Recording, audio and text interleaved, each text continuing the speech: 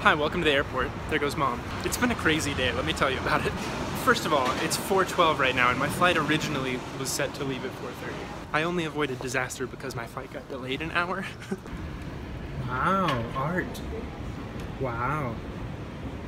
Look at that art. Wow. What an airport we have here. This is so fancy. I had no idea.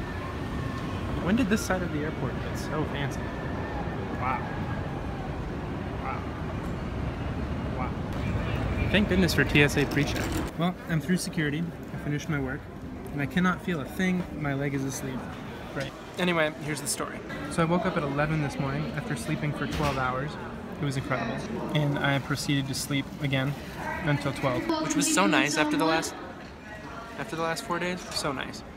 Then uh, packed, cleaned out the fireplace, did dishes, folded laundry, had a call with Nick, hopped in the car, drove to Monument, picked mom up, went to the DJI store because I found out they just got three Mavics in stock. I bought the first of the three, and within 30 seconds, the other two had sold out before I could even buy a second for my dad. The Mavic is now in my backpack, and I get to fly it tonight in New York.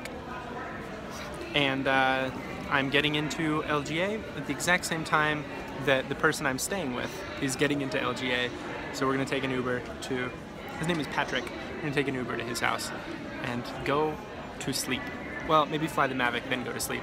And uh, it should be fun, it should be a good time. This will be the end of this video. I'm gonna make a video on the flight, and then of course, third video when I get there about the Mavic.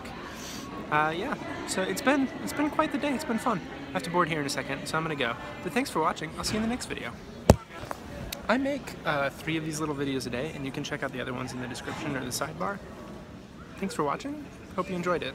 I gotta, I gotta, yeah, okay, bye.